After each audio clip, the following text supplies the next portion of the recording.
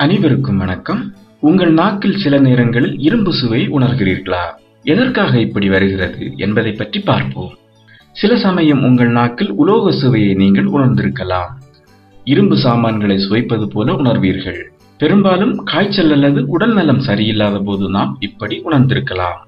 இந்த உலோக சுவை எதற்கு வருகிறது என நாம் கண்டுகொள்வதில்லை. சில நாட்களில் அது மறைந்தது நாமும் மறந்து விடுகிறோம். எதையும் நம்மை சுற்றியும் நடப்பதை நாம் கண்டுகொள்ளாமல் இருப்பது போல் நமக்குள் நடக்கும் சிறு மாற்றங்களையும் தெரிந்து வைத்துக் கொள்ளாமல் உதாசீனப்படுத்துகிறோம்.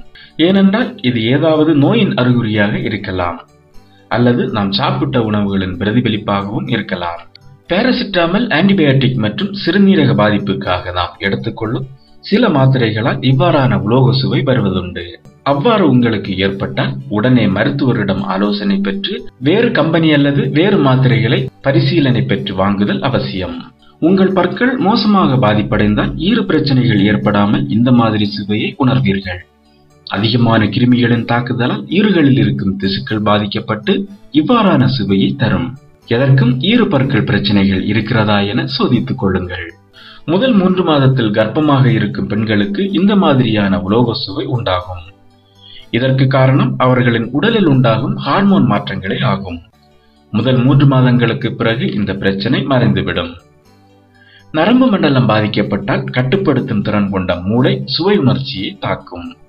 இதனால் சுவையின் திறன் மட்டுப்படுத்தி உலோக சுவையை உணர்வீர்கள். உடலில் அதிக அளவு செம்பு மற்றும் இரும்பு சத்து இருந்தால் இவ்வாறான சுவையை உணர்வீர்கள். உடலில் ஜிங்க் குறைபாடு இருந்தாலும் உலோக சுவை உண்டாகும். உங்கள் உடலில் இந்த சத்துக்களை அறிய இந்த அறிகுறியும் உதவும். நீங்கள் நச்சுத்தன்மை வாய்ந்த பொருட்களை சாப்பிட நேர்ந்தால் உலோக சுவை உண்டாகும். வார்னிஷ் கோபால்ட் காரியம் போன்றவை உடலுக்குள் புக நேர்ந்தால் உங்கள் நாக்கில் உலோக சுவை வெளிப்படும்.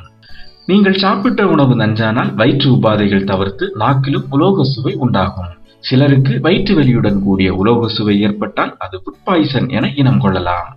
உங்கள் காதுகளில் இன்ஃபெக்ஷன் ஏற்பட்டிருந்தால் அதனால் கூட நாக்கில் உலோக சுவை ஏற்படும். காது மட்டுமல்லாது வாயிலும் ஏதாவது பாதிப்பு ஏற்பட்டிருந்தால் இந்த சுவை உண்டாகும். சுவாச குழாய் கோளாறுகள் சைனஸ் ஆஸ்துமா போன்றவை ஏற்பட்டால் நாக்கில் உலோக சுவை அதிகரிக்கும். ஆகையால் இரண்டு மூன்று நாட்களுக்கு மேல் இந்த மாதிரி உலோக சுவை இருந்தால் உடனடியாக மருத்துவரை கலந்தாலோசிப்பது நலம். மேலும் வீடியோக்களுக்கு சேனலை சப்ஸ்கிரைப் செய்யுங்கள்.